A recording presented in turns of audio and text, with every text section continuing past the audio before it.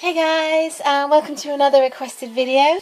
This time, this one has been requested by Jessica Gane and it's basically not specific to a group, it's basically in general.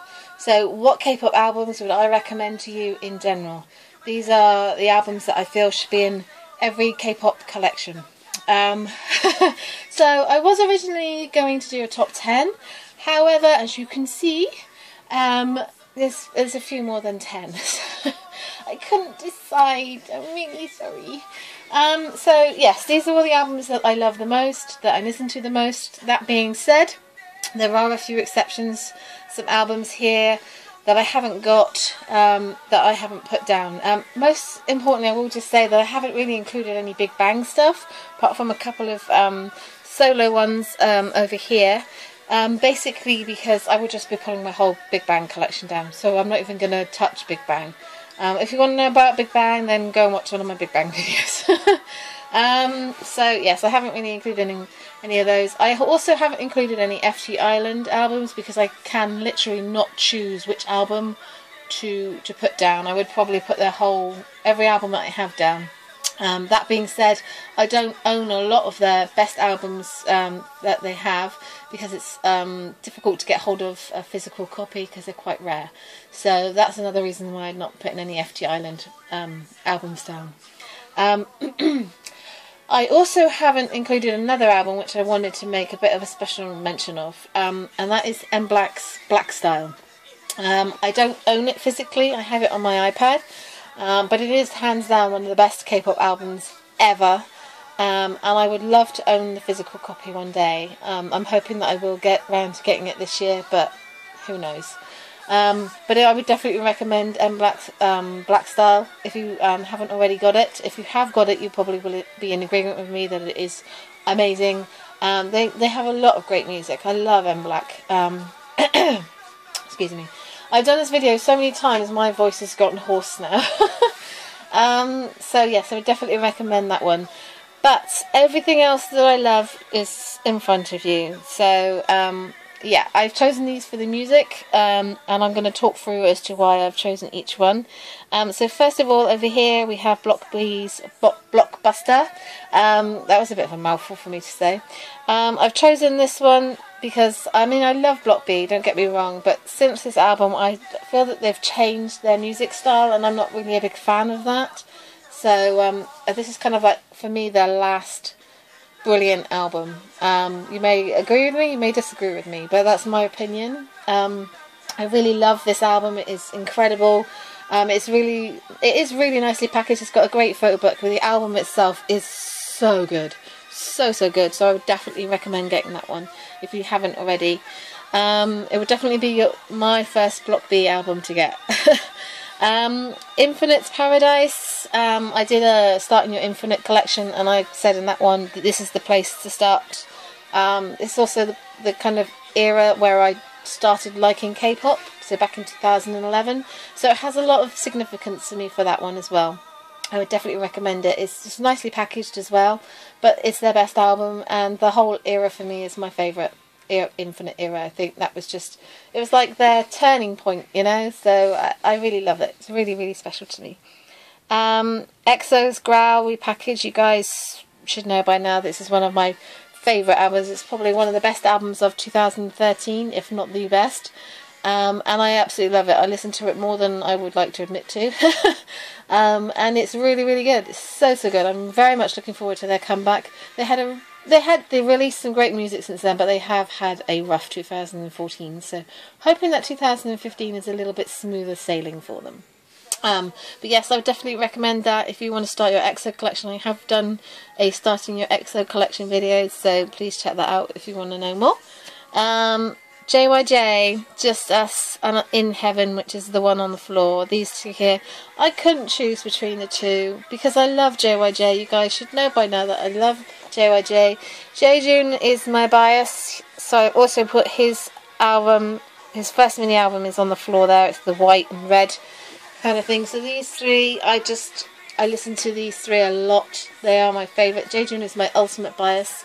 Um, his voice is just incredible. It's so it so suits rock and ballads and pop, just everything. He can just acclimatise to anything, and I think he's incredible. So, plus he's also incredibly hot. So, um, I would definitely recommend um, getting these two. I think before 2014, because 2014 there was a great amount of music out in 2014.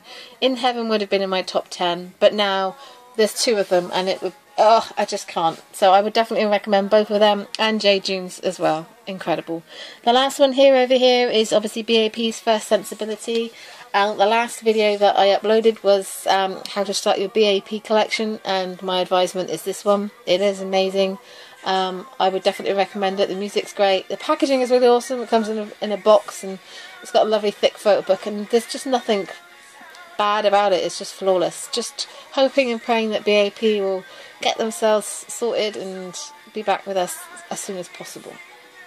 Um, then we'll go over to this one. This is my little YG corner here. I have included some YG stuff. So, um, yes, I've got Epic High's Shoebox, which came out last year. Akdong Musicians' debut album, which came out last year.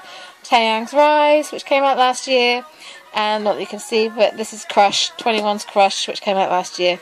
The only one that I've not that I've included that hasn't come out last year is GD's Coup d'etat, which is one, along with EXO's Growl, is one of the best albums of 2013. Um, I've chosen these ones because these are the ones I listen to the most. I mean, Taeyang's Rise is just incredible. You don't own this album, you haven't heard this album, then you really do need to because it's amazing. It's so good. If you're not a fan Big Bang, fine. I'm not here to judge, but you need to check this album out because it's so so good.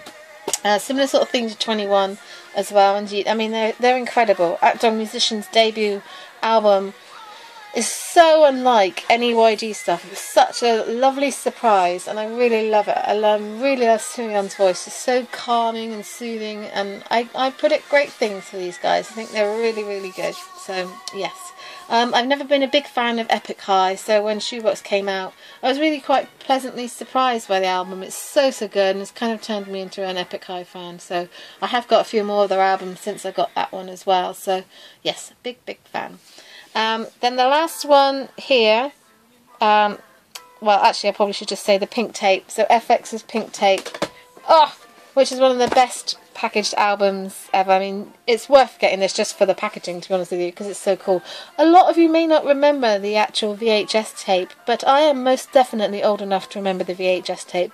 And yeah, you literally were this size. So, um, yes. But this is also one of the best K pop albums ever music wise. It's their best album. Um, I mean, Red Light is brilliant as well. It's a close second, but this is so, so good. If you've not heard this one, you need to because it's really, really awesome.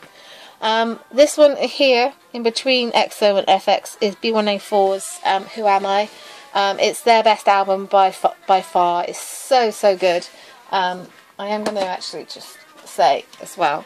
Uh, it's actually one of the best packaging because it's like a magazine. So it's got a really thick photo book. There's some very wonderful English in here and I absolutely love it. The album is, there's a lot of songs on here and I would definitely recommend this um, to anyone starting their B1A4 collection as well, which I recently did in my starting your B1A4 collection video.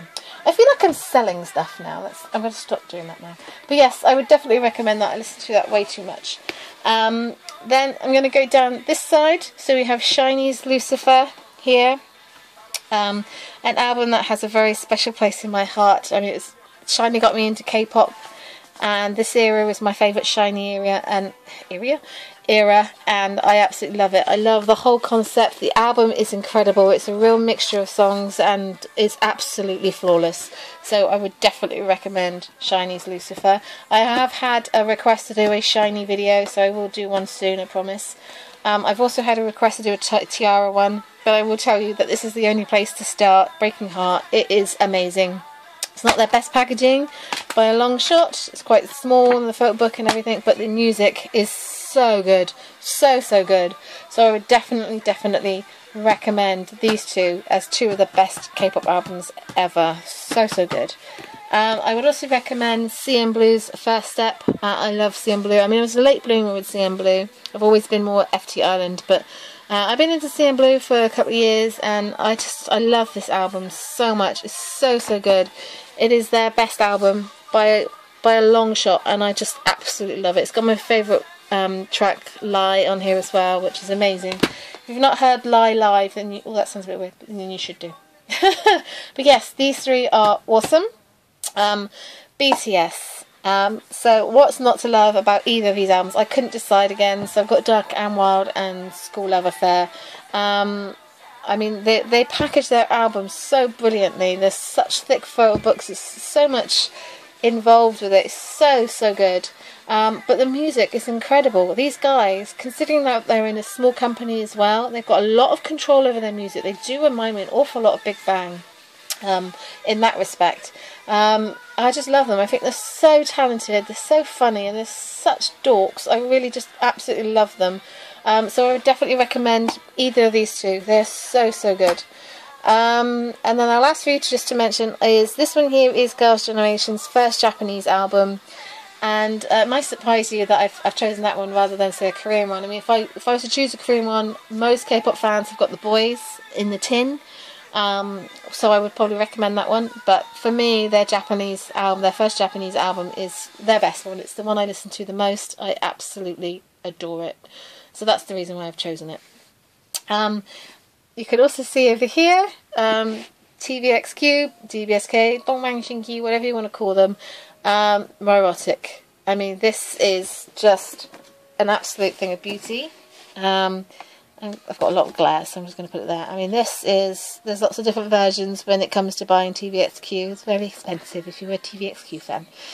But um, this is their best album for me. It's just incredible, and uh, I absolutely love it. So I would definitely recommend you having a listen to this. It's really, really good. I absolutely love it. So it's most definitely one of the best albums ever. Would make my top ten.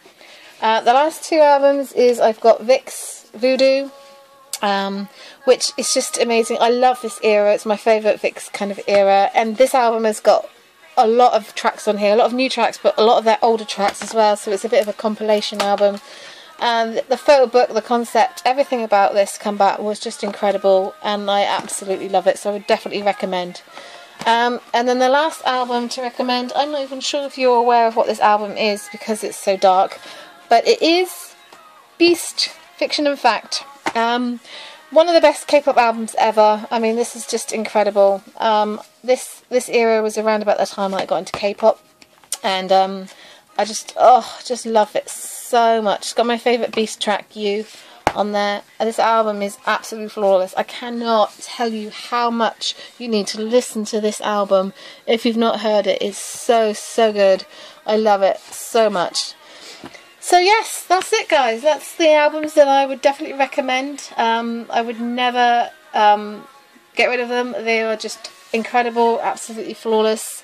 And I hope that this helps. Maybe you've been umming and ahhing about one of these albums, and maybe I've helped you decide. If you have, then please get them because they're amazing. Um, that's it. If you've got any more requests, I've had a request to do SHINee and T-ara and Beast. But if you have any more, then please feel free to leave a request uh, in the comments below. Um, also, if you agree or disagree with my choices, if you want to um, say about any more albums that should be in this video, then please, you know what to do. Drop a comment. Till next time, guys. Ciao.